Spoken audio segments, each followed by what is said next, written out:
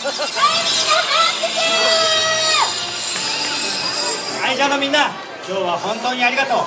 今から僕たちと撮影会をするから係の人やこのマイクを持ったお姉さんの言うことをよく聞いて順序よく並び楽しい思い出持って帰ってね。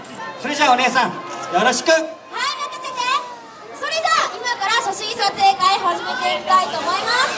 でも5人並んでちょっとだけそちらの前開けてくださいちょっと下がってくださいねちょっとだけもうちょっと下がってもらえますかすいませんはいちょっと下がってくださいね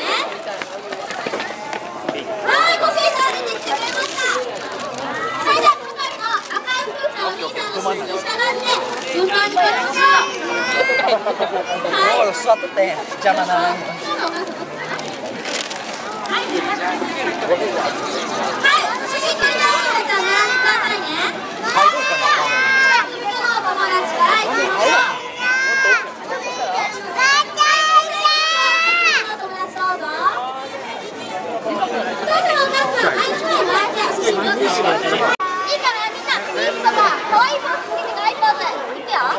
とこ行ってみ撮りたくない。はい、撮りたくない。五、四、三、二、一、ゼロ。